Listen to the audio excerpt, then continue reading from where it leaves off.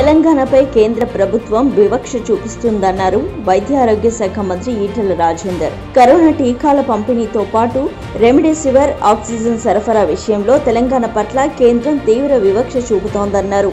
అయినా రాష్ట్రంలో remdesivir oxygen బెడ్ల కొరత లేదని స్పష్టం చేశారు. రెమిడెసివిర్ పంపిణీ విషయంలో కేంద్రం నిర్లక్ష్యం వహిస్తోందన్నారు. పది రోజుల్లో గుజరాత్కు ఒక లక్ష అరవై మూడు వేలు మహారాష్ట్రకు రెండు లక్షల డోసులు మధ్యప్రదేశ్కు తొంభై రెండు వేలు ఢిల్లీకి అరవై మూడు వేల డోసుల రెమ్డెసివిర్ ఇంజెక్షన్లు పంపిణీ చేస్తే తెలంగాణకు మాత్రం ఇరవై ఐదు వేల డోసులు మాత్రమే ఇచ్చిందన్నారు ఈటల.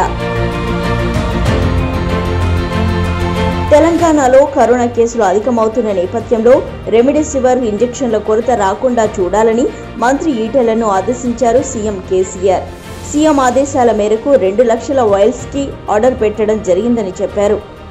అన్ని విధాల ఆన్ పార్ విత్ తెలంగాణ పేషెంట్లకనే మనం ట్రీట్ చేయాలని చెప్పారు చెప్పి నాలుగు లక్షల డోసుల రెమిడెసివిర్కి ఆర్డర్ ఇవ్వడం జరిగింది.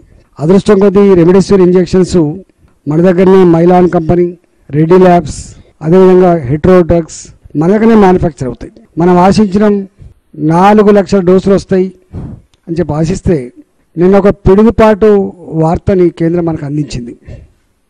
రోగులు ఎవరికి ఇబ్బందులు తలెత్తకుండా చూడాలని నాలుగు లక్షల రెమిడెసివిర్ ఇంజెక్షన్లకు ఆర్డర్స్ ఇచ్చామన్నారు.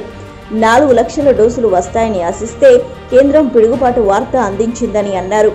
రాజకీయాలను పక్కన పెట్టి ఈ కష్టకాలంలో ఆదుకోవాల్సిన అవసరం ఉందన్నారు. తమ రాష్ట్రంలో ఉత్పత్తి అవుతున్న రెమిడెసివిర్ ఇంజెక్షన్లను ప్రజల అవసరాలను తీర్చేందుకు సంపూర్ణంగా కేటాయించాలని కేంద్రానికి లేఖ రాస్తామని తెలిపారు. రెండవది ఇంత విపత్కరమైన పరిస్థితుల పట ఇంత సమన్వయంతో ముందుకు పోతున్నటువంటి కేంద్రం కానీ రాష్ట్రం కానీ సమన్వయంతో ముందుకు పోతున్నప్పుడు రాజకీయాలను పక్కకు పెట్టి ఇవాళ కలిసికట్టుగా ఎదుర్కొంటున్నప్పుడు ఇలాంటివి కొంత మాకు బాధిస్తూ ఉంది. మేము దీని మీద ఇవాళనే హర్షవర్ధన్ గారితో మాట్లాడినాం. అది పంపుతా ఉన్నాం. మా రాష్ట్రంలో ఉత్పత్తి అయ్యేటువంటి ఈ రెమిడిసివిర్ మా ప్రజల అవసరాలు తీర్చడం కోసం మాకు సంపూర్ణంగా అలకేట్ చేయమని చెప్పి మేము ఇలా లెటర్ రాస్తా అని చెప్పి తెలియజేస్తా ఉన్నా. హరిస్తోందన్నారు. ఇవాటి వరకు రెండు వందల డెబ్బై మెట్రిక్ టన్నుల ఆక్సిజన్ వాడకం జరుగుతుందన్నారు.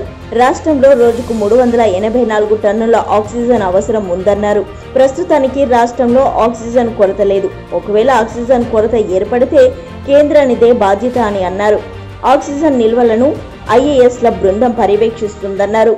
మాకు పదమూడు వందల కిలోమీటర్ల నుంచి వెళ్ళి ఈ ఒరిస్సా నుంచి వెళ్ళి రావాలంటే కష్టమైతా ఉంది. ట్యాంకర్ దొరకలేవు. ఈ ఆక్సిజన్ సప్లై చేసే ట్యాంకర్లు ఏవైతున్నాయో ట్రాన్స్పోర్ట్ చేసే ట్యాంకర్లు ఏవైతున్నాయో ఇవి స్పెషల్గా తయారు చేసిన ట్యాంకర్స్. వేరే ట్యాంకర్లతోటి ఈ ఆక్సిజన్ తెచ్చుకునే ఆస్కారం లేదు కాబట్టి మేము అడిగినాం హర్షవర్ధన్ గారిని మా కలకేడి చేసినటువంటి ఆక్సిజన్ని మాకు చుట్టుపక్కల దగ్గర ప్రాంతాలకు ఇవ్వమని చెప్పి కోరినాం. విశాఖపట్నం గాని శ్రీపదం పెరంబుదూరు గాని లేకపోతే బళ్ళారి గాని ఇంకెక్కడ చిన్న దగ్గర దగ్గర పట్ల ఇవ్వని చెప్పినాం తప్ప ఈ పదమూడు వందల కిలోమీటర్ల తోటి సాధ్యం కాదని చెప్పి చెప్పినాం. ఒకవేళ కనుక ఇది కేంద్ర మార్చకపోతే రేపు ఆక్సిజన్ కొరత ఏర్పడితే బాధ్యత మీరే వహించాల్సి వస్తుందని కూడా మేము చెప్పినాం. తెలంగాణలో ఇతర రాష్ట్రాలకు చెందిన కరోనా పేషెంట్సే ఎక్కువగా ఉన్నారన్న ఆరోపణలపై స్పందించారు మంత్రి ఈటల.